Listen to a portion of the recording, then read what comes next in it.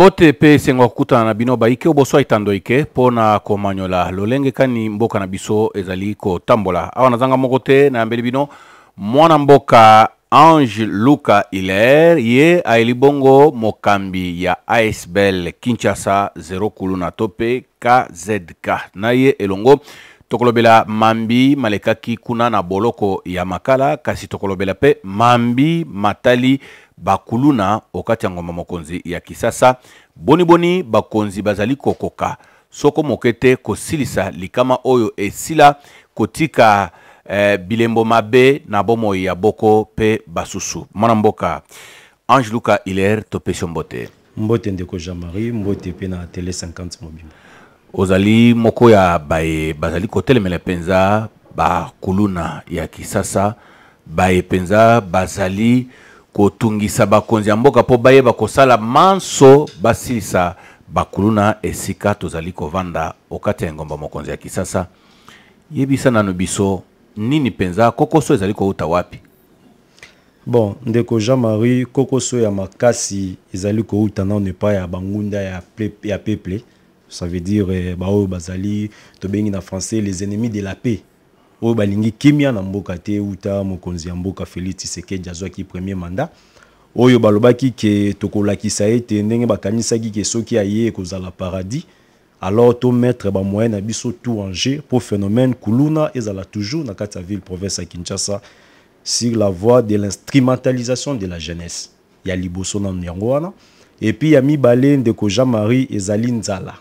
Parce que omoni biso na kati ya SBL Kinshasa Zero Kuluna na voie ya conscientisation parce que ngai na procédaka na kokanga bakuluna te to kolandana na bango neti bapulusu te me ngai na conscientisaka bango sadi kobenda bango na kati ya sbel kosolola na bango koyeba basusi na bango nde baza kokóma sikoyo ba zero kuluna mpe utile na kati ya société na biso ya mboka Na maloba ma yo, tosili koyoka liloba lyoko liye lilobi instrumentalisation ya bilenge. Est-ce que okoki kondimbolela biso mode operatoire ya baye bako instrumentaliser bilenge bakosala ko boni? Ndeko Jean Marie, instrumentalisation ya biso ba jeunes na ville province ya Kinshasa na ngonga oyo meme mwana ya deux ans azoyeba yango. Soki otali ata ba grands hommes politiques na biso, ba homme fort soki baza na ba guerre entre bango na bango soki bazo welela ba poste meme na tango ya ba election meme na tango ya ba nomination bazo utilisaka ba nani si oyo akozwa quelques groupes ya ba jeunes oyo pe azwi quelques groupes ya ba jeunes babomani bazokisani bake ba prison suka nango akolanda bango te mais pona interet na ye tango pe akozwa place wana akeyi na ye bongo na makampani na mot fleuri numero ya telefone oyo bobandaki kosolola na ye ntongo midi pokwa ekeyi parceke asa azwi intere na ye biso bajeune toza kozonga toujours nsima kozonga toujours na, na babavire na na badesordre baza koboya tolamuka na conscience mpo bayebi ke soki tolamuki na conscience ekocoince baintere na bango ndomoni baza koutilize biso bongo plus loin meme na kosombelaka bajeune bamachete mpo ete babunda basala toujours baoyo ezali intérêt na bango mpo bamona ye ke na mboka kinshasa kimia ezali te ebomela biso meme bamarché meme bapartenaire meme bandeko oyo ba, oyo tozali na bango na baétranger ndeko jean marie ngai naza na bafamille mingi na, na mboka mpo tokosolola ata na baniese to baneve na yo boye boya vacances non tonton labai ya de kuluna va pas venir donc batekeli biso image ya mboka na ndenge ya mabe makasi ndeko jean marie tosili komona yo komona kopasi mpenza na kobundisa kikuluna awa ngomba mokonzi ya kisasa kasi tolingi toyeba nanu yo moko nanu osalaka mpenza nini toyokaka kaka ke omonaka mpasi tout ça mpona kobundisa bakuluna mai yo moko nanu personnellement bainitiative na yo mpona kokoma kino na zero kuluna na kinshasa ezali nini osalaka ndenge nini Ndeko Jean Marie ngai naza kaka simple nakoki koloba elema oyo naza na courage naza na ba projet et puis na na affronter ba jeune wana mais mpo na kokende ntina ndenge olobi wana zero kuluna ezosenga accompagnement ya mbo ya bakonzi na biso ya mboka na projet na oyo ezali kolobela nini projet ya liboso oyo naye nango d'abord ezali eh, dépôt volontaire ya bamachete na bilili nayeli bino wana okomona Place nyoso na kitaka soki na conscientiser ba kuluna na ko inviter commandant ya la police ya commune wana to ya district wana ba kuluna ba ko déposer machette ba ko kota na kati ya SBL kosenga susu suspension provisoire ya ba vente ya machette na n'importe qui eza kaka te ke mutu nyoso aye na magasin boya sombi machette ou bien groupe ya ba jeunes sans koyeba utilité nango et puis ko banda ko dénoncer bato bazali derrière phénomène kuluna soki tolongi étape wana Nde etape ya misato oyo naye nango na kati ya ba projet ndenge olobi ezali kosenga sikoyo ba jeune wana oyo bakomi ba zero kuluna toza na ba projet ebele na kati ya ville province ya Kinshasa awa neti ya liboso namoni gouverneur na biso ya sika Daniel Bumba na ndeko Edi Yeli vice na ye bayeli biso ya Kinshasa ezobonga namoni bayeli biso programme ya assainissement oyo babandi nango comme lancement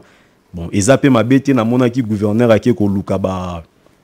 ba génie militaire eza pe mabe te mais oyo nga na kosenga na kati ya projet ya KZK oyo tozali nango bilenge wana ndeko Jean Marie même mavo kota na dossier olobi ya prison si batondi na prison kuna na ba dossier moko tobengaka ba dossier bene ba dossier moko vraiment eh, okoki kogere no yango facilement alors soki tozwi bango quand même tokotisi bango na programme ya assainissement bakoma ata na mwa mosala moko boye kene fiske chaque fin ya semaine azwaka ata mwa quelque chose epuis biso na kati ya sbel tozo controle bango ekobenda susu ba zero kulu na ebele ndeko jean marie nayoki yo awa koloba na likambo ya kodenonse baye bakoinstrumentalizaka bilenge mpo bakoma bakuluna yo osodonesa combien oyo mpenza bazalaki koinstrumentalize bakuluna mais ndeko jean marie okobanda kodenonse bango ndenge nini moma okomi nanu kobénéficie na soutien direct ya gouvernement ya mboka na biso te yo oyebi mboka na biso ndenge efonctionnaka mboka na biso congo to kinshasa balingi bato lokola biso te oyo tozotelemela bamakambo mabe oyo tozotelemela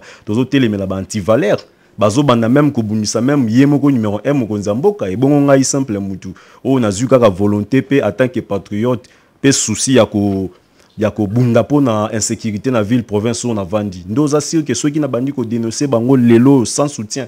ta mosusu kozala na oyo esika ya plateau boye kokoma mpasi baza bato oyo bazwaki temps ebele na, na, na, na mafia na, na, na bareseau tobengi bareseau mafie alors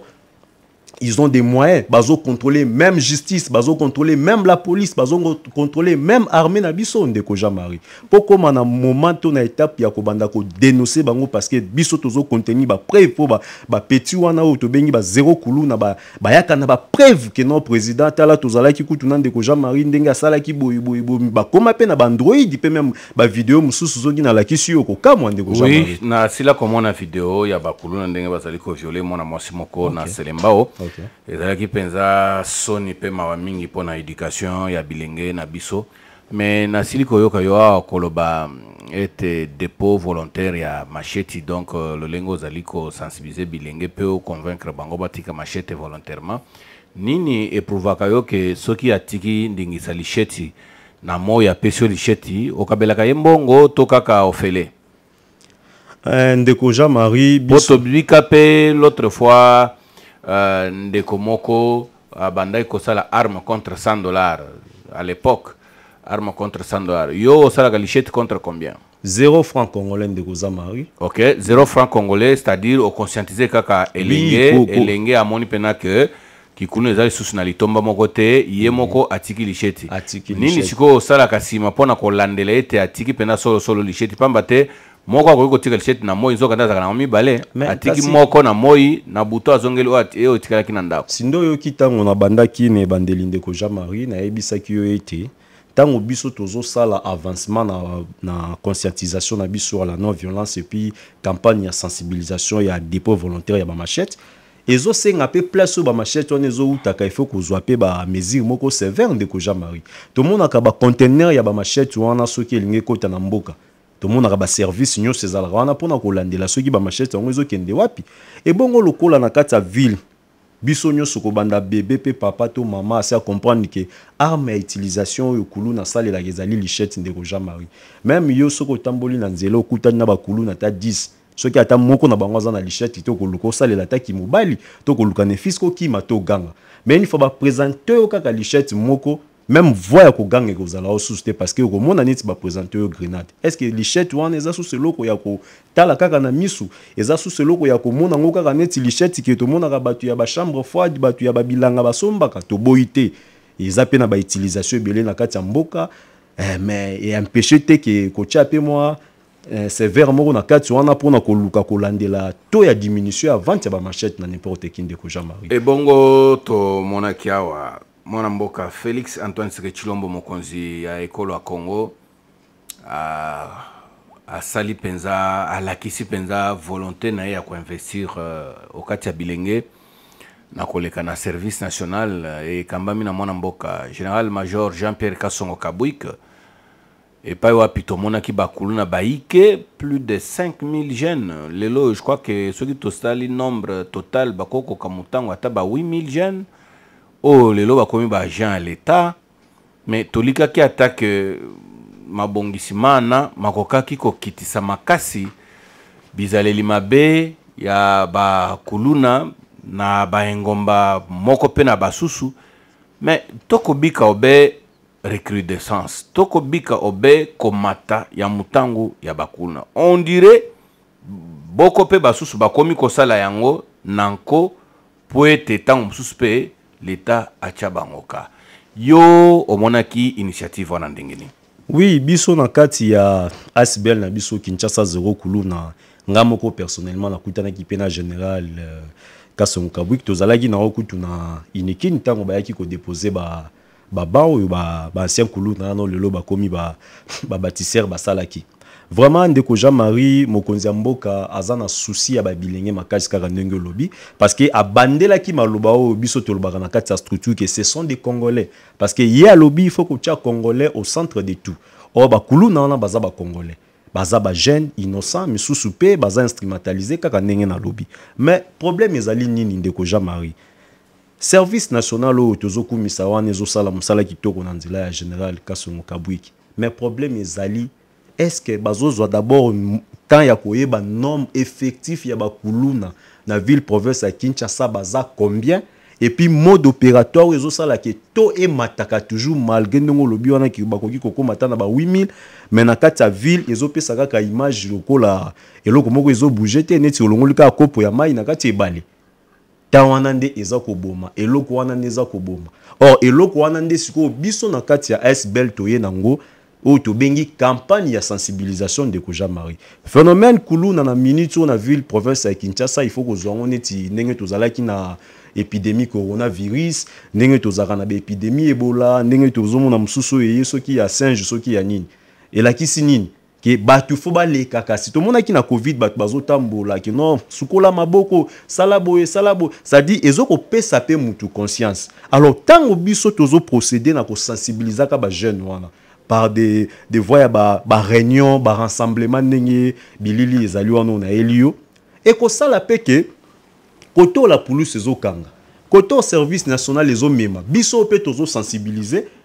Kuluna mosusu akoki kotika kaka mpe na nzela ya sensibilisation kaka ndenge na KZK oyo tokomi na 1250 jeunes conscientisés oyo baza na ba cartes na bango soki oye na ba na siège na biso komona ndenge to procedaka c'était dans la voie de la conscientisation ezalaki kutu te ke bakangi ye to auti kani makasi bozali conscientiser bilenge c'est vrai batiki machette eza tango soki basiki machette bo borientaka bango na misala nini to mpe batika lobe na ndako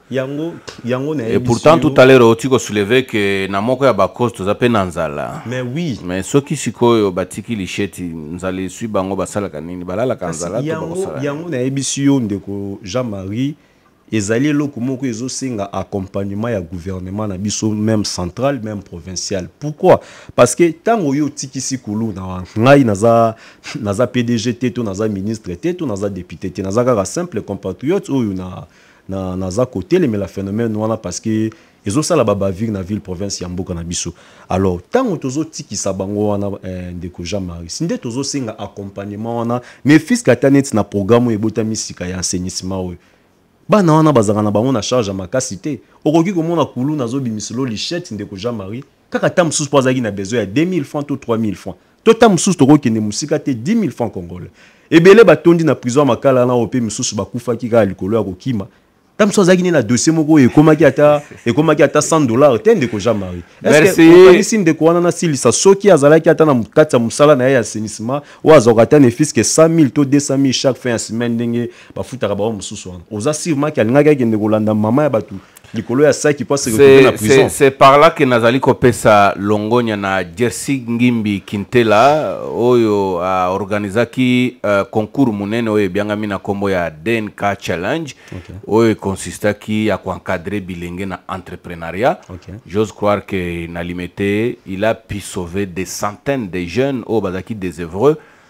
a initie bango mpe tomoni mpenza biyano ya solosolo mpe tozali kopesa elongonya mpo ete ayeba kokoba na initiative wana eza mpe moko ya bainitiative oyo ezali kosunga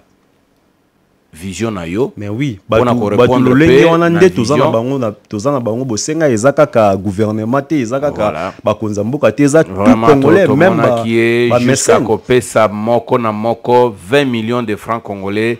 na idée ka que euh, a matérialiser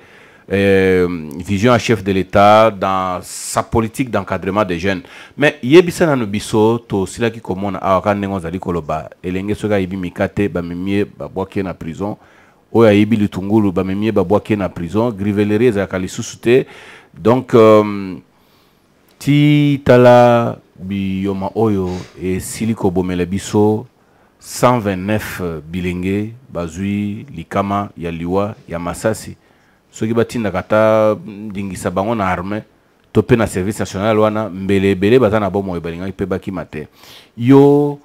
eyoma wana mpo na yo esalaki yo ndenge nini vraiment esali nga mpasi makasi kaka ndenge esali mpe mokonzi ya mboka mpasi mpe kinois nyonso mpe congolais nyonso mpasi ndeko jean marie motu moko te akoki kosepela amona bilili ya bongo ya bandeko na ye bakufi malgre bazalaki na kati ya prison oyo ezali place oyo bakondane ba bazali mpe baprésime innocent mpe bazali ndeko jean marie sindo omoni nazo kotourne kaka autour ya eloko moko oyo tobengi sensibilisation tobengi conscientisation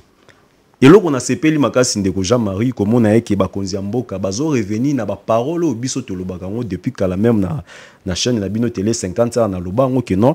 eza kaka oblige te ke kuluna to jeune mpo na mwa dossier moko ya 50 000 francs 100 000 francs to eh, 200 000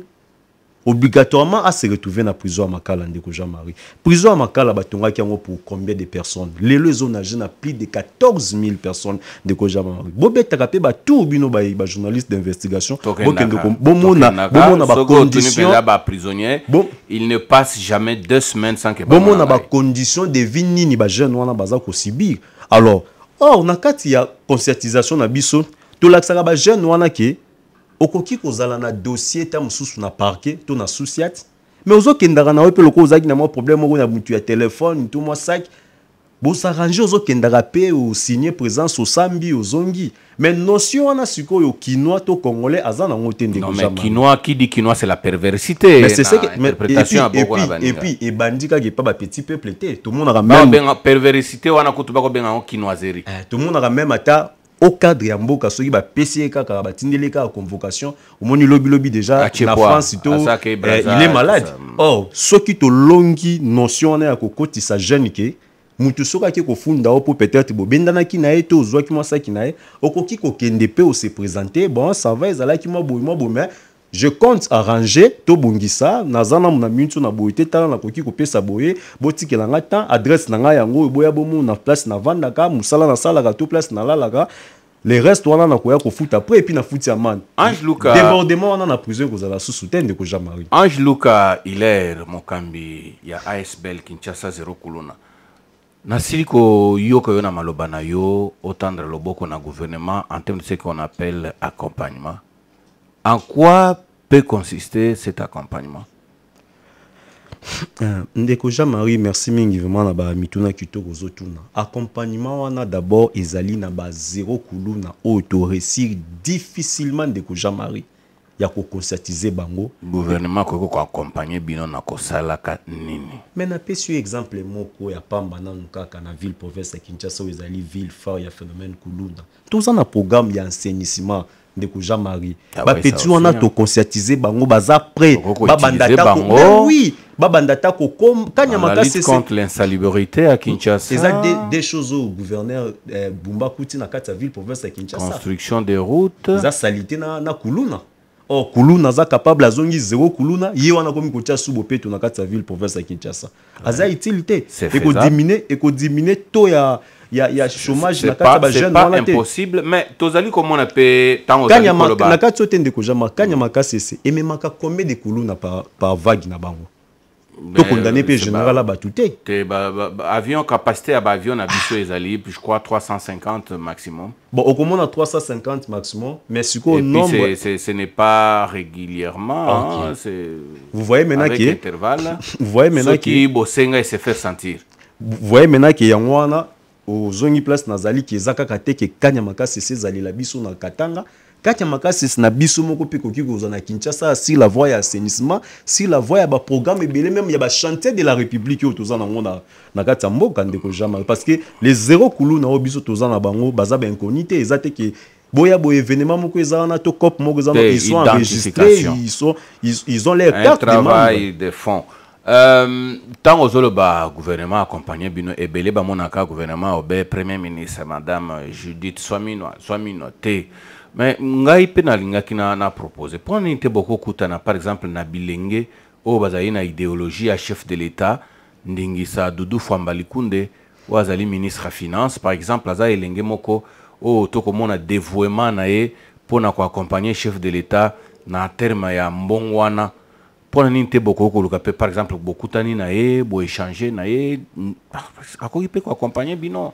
mais, mais ndeko jean marie eloko ozoloba wana ezali eloko oyo tosalaka yango déjà de temps en temps mais problème ezali sikoyo doudou fwamba c'est un jeune très ouvert hein? oui, oui, peut-être bozoyokela ye na mosika c'est un non, jeune très non. ouvert très engagé na accompagnement ya différentes organisations ndingisa réseau babel international omoni ndenge alidor muyaya asimbi ah, réseau babel international nayebisi yo nayebisi yo ndeko jean marie mm. eza mosala oyo tosalaka depuis kala ya kosenga soutien na bato ndenge otangi mais soutien wana ntango mosusu bozali kosenga na bato oyo peut-être mitema likundu oyo mpe ntango mosusu mpe baza mpe kuna te oyo mpe ntango mosusu mpe soki bamoni bino bamoni kaka neti ah boye kotungisa bango mais je sais que parmi bango eza mpe na boko oyo mpenza bazali na patriotisme ya solosolo solo, oyo mpe baza engage mpo na kolakisa tant soit mpe peuple na biso babika mpe mbongo wana selon emoniseli ya tata mokonzi ya ekolo félix tshisekedi bino bapanzi sango nde fo bosunga biso lokola boza neti bapont entre biso bato ya conscientisation mpe na ba ba, ba mécène de bonne foi wana ndenge otangi nkombo mpo na évolution ya idée oyo toza nango ndeko jean marie oyebi bien mboka na biso ndenge efonctionnaka efonctionnaka toujours na bakale e fonctionnaka toujours na bakale yo oyebi oza mopaya wana ville province ya kinshasa te mais ntango euh, bino boza wana boyebi eh, makambo ezolekana na ville province ya kinshasa bolobelaka yango na baradio na batv boyebi mpe les vraies personnes oyo baza sense ya koapporte un plus na phénomène wana Mais bino pe bosungaka biso ndeko Jean. Eloba Rick Machar en Afrique les mange, l'autre les regarde Alors. manger, ainsi naissent les conflits. Alors. Ben tokomi na suka na émission oyo Ange Luka Hilaire toyebi te liloba na yo ya suka ekozala nini? Bon ndeko Jean-Marie vraiment liloba na ngai ya suka eza na bord merci na ndenge boyambi ngai Na telemi mingi kaka makasi na projet oyo nazo beta sete oyo nabandaki nango pe nazo sukisa nango. Ba jeunes wana oyo tobengi ba zero kuluna baza pret pona programme ya assainissement ya ville province ya Kinshasa eko diminuer chomage, eko diminuer phenomène kuluna et puis problème ya ba cachot to ya prison na biso oyo ba ndeko bakufi ebele nazo senga vraiment ba magistrats bakoma mpe na mwa motema ya mawa elobi te ke ba encourage to tozo encourage phénomène kuluna non mais ba magistrat tosili koyoka awa constant mutamba ministre ya justice kofunda bango ebele baza na maboko salite na corruption mais, mais problème ezali bango nyonso ekomi lokola course ya mbongo dossier ata ya lipa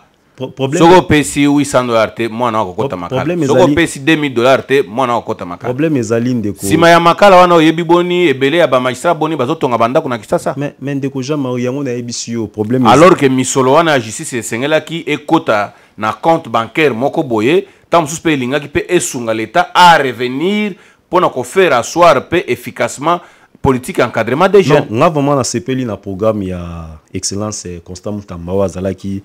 assistant na ngai na upc ya cours ya droit constitutionnel ya professeur njoli mpe tobandaki koorganize ne bacours d'encadrement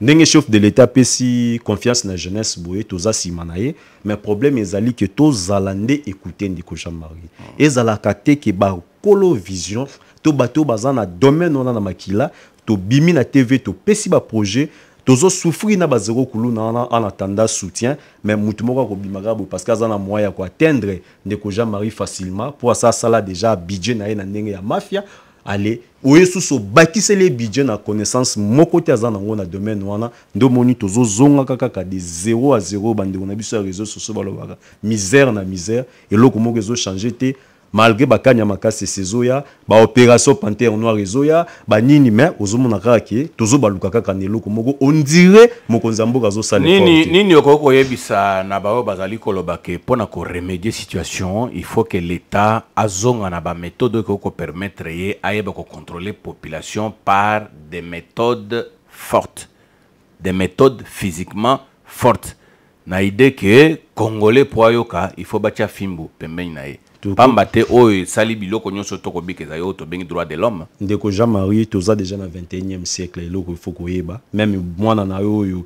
mwana ya 5 ans oza ne lelo na 2024 aza mwana 5 ans ozalaki ne na 1998 be oyebi na procédure wana baparent ebele barate éducation oui problème ezali te me ngai naza plus base mpe na kosenga nde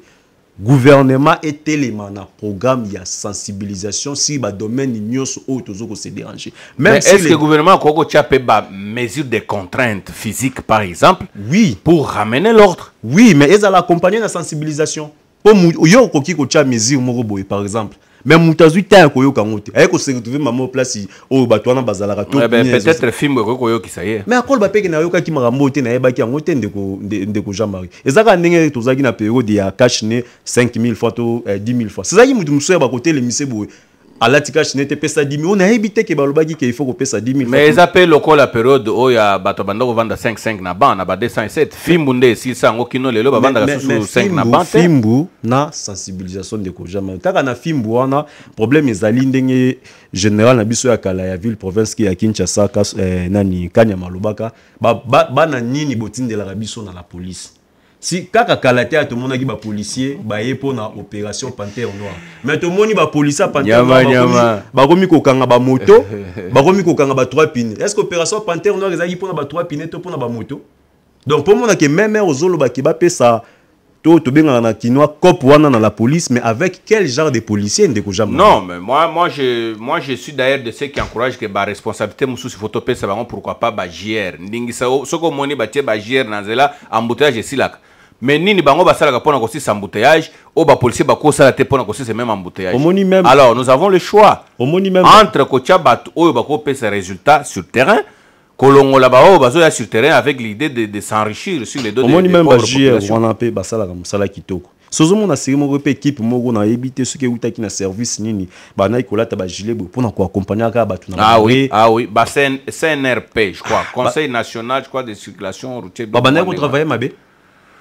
bon eza eza initiative nga nalingi plus totelema totelema sur la sensibilisation na phénomène kuluna merci. phénomène embouteillage na phénomène nyonso ezo déranger biso merci beaucoup ange luka tozali korapele ete ozali mokambi ya asbel Kin zero kuluna KZK ozali kotambola mpenza mpo na kosilisa kikuluna na engumba mokonzi ya Kisasa. Tozali kolikia ete projet na yo ekosimba mpe ekopesa biyano kitoko. Bandeko bozalaki baike ya kolanda emission oyo tozali koyebisa bino ke bikuke na yango ezali polele na motu nyonso alingi ya kokabola na biso makanisi lolenge kani tokoki kosala mpo na kotonga mboka na biso. Tokoyamba bino botikala malamu.